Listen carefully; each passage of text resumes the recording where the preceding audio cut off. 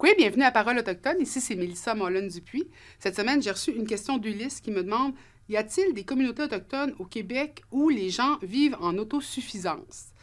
J'aimerais tourner ta question et dire plutôt quand les Premières Nations ont-elles perdu leur capacité à s'autosuffire? Il ne faut pas oublier que la raison pour laquelle on est dans des réserves, dans des communautés, c'est malheureusement parce qu'il y a eu des politiques gouvernementales, il y a eu la loi sur les Indiens et il y a eu une pratique mise en place pour détruire notre capacité à nous autosuffire.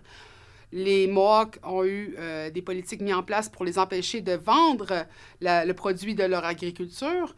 Euh, les Inuits, par exemple, on nous a empêchés d'aller pêcher dans la rivière à côté de laquelle on habitait. Euh, C'était des pratiques qui ont été mises en place pour nous rendre dépendants justement de l'économie qu'on dit canadienne.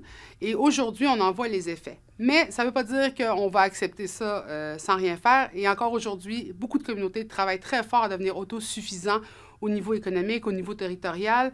Et je pense qu'on ne peut pas voir encore le même effet qu'on avait il y a 100 ans mais on voit qu'il y a un, désir de pouvoir s'affranchir de cette politique qui nous a justement, euh, comment je peux dire, mis des bâtons dans les roues il y a plus de 100 ans. Alors, merci beaucoup pour ta question. Euh, j'espère pouvoir y avoir bien répondu. J'espère que vous n'allez pas hésiter à nous en envoyer d'autres et à partager cette vidéo. Je vous souhaite une belle semaine.